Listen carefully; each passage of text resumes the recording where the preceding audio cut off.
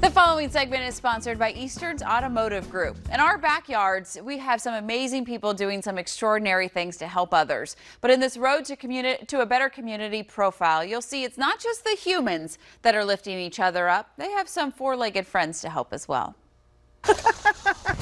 Horses, they have a personality all their own, but what makes them extra special is the impact they can have on the human spirit. Physically, it's fabulous for um, developing balance, core strength, flexibility. Jackie Collins is an instructor and volunteer coordinator at Lift Me Up in Great Falls, Virginia.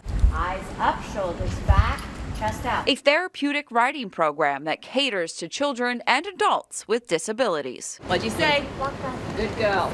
Jackie says the benefits to equine therapy go way beyond the physical. They have a partnership with a, an animal that's 1,200 pounds, and that's a very empowering um, situation to be in. Riders at Lift Me Up range from ages 3 to 60 years old. Kim Boozman suffers from multiple sclerosis and has been riding here for 23 years. Lift Me Up means the world to me. Uh, if I can't see, feel, touch, smell a horse, I'm not a happy person.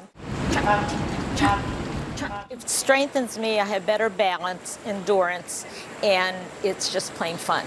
Fun is important here at Lift Me Up, and that is evident in the smiles. The horses are magical, and the, the work they do here is really magical, and we've been really happy.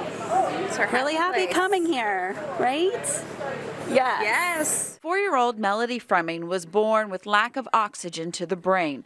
Her mom, Megan, brought Melody to Lift Me Up a year and a half ago to help build and develop her strength and motor skills. What do we say? Um, Walk on. Good girl. Here we go.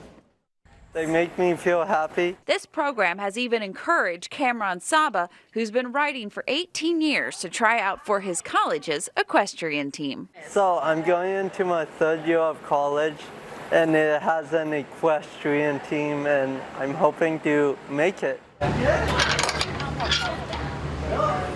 Of course, none of this would be possible without the dedicated volunteers and instructors. Besides the horses, uh, this program would not be able to run without our volunteers and our very talented and dedicated and devoted um, instructors. And I hear from a lot of you, this is y'all's happy place too, right? Oh, absolutely. This is, it's one of the most wonderful things with horses I've ever been involved in. And when you see the smiles on the riders' faces, how does that make you guys feel?